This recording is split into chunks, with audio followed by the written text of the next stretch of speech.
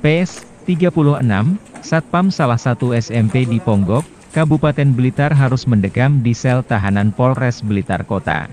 Bapak dua anak asal desa Gembongan, Kecamatan Ponggok, Kabupaten Blitar, itu telah menyetubuhi siswi kelas 3 SMP yang bersekolah tempatnya bekerja. Dengan bujuk rayu dan iming-imingi sejumlah uang, pelaku mengajak korban berbuat asusila di sebuah hotel di Kecamatan Legok, Kabupaten Blitar. Kejadiannya 31 Mei 2022 di sebuah hotel di Kecamatan Legok dan kasusnya diketahui keluarga korban pada 7 Juni 2022. Pelaku merupakan satpam di tempat sekolah korban, kata Kapolres Blitar Kota, AKBP Argo Wiono, Jumat 24 Juni 2022.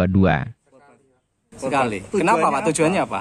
ya untuk ngajak Tapi sebelumnya pakai rayuan-rayuan atau bagaimana Bapak? Sudah memang dekat.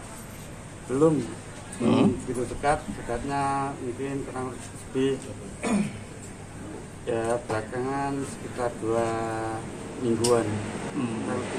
Lebih. Pak, kenapa Pak? Hasrat itu timbul karena lama berpisah dengan istri atau bagaimana? ya timbul seperti itu korban itu eh, informasinya adalah kelas 3 masih kelas 3 SMA ya Eh, dengan iming-iming dari pelaku akhirnya melakukan persetubuhan.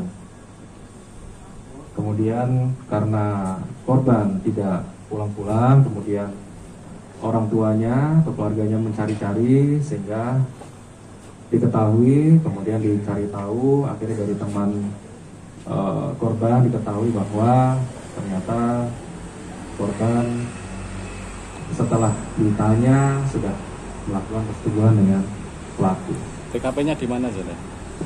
Di TKP-nya adalah di hotel di daerah Legok.